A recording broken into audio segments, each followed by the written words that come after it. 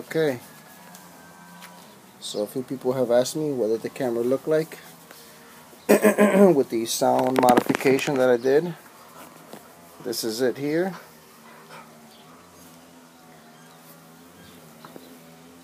These uh, two black lines and two black lines, that's double-sided tape.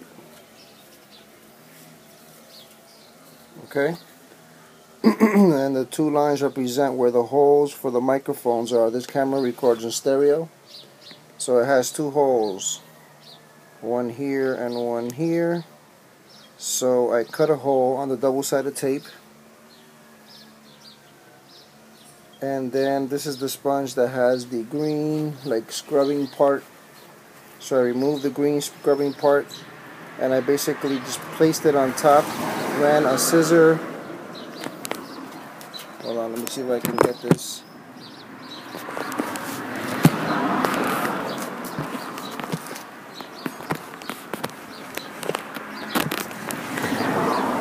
Casper.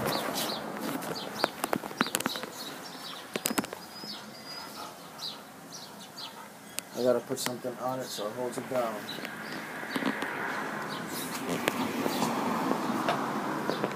Let me try this turtle wax. Okay. In focus. Casper, back out.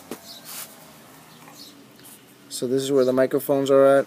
I just I just literally peeled very slowly the green.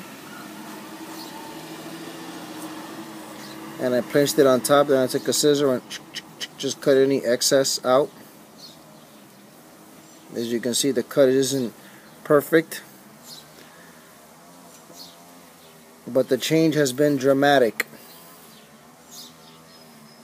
So, just so you can see what it looks like. Double-sided, eh, like I said, it is ugly, but it does a great, great job.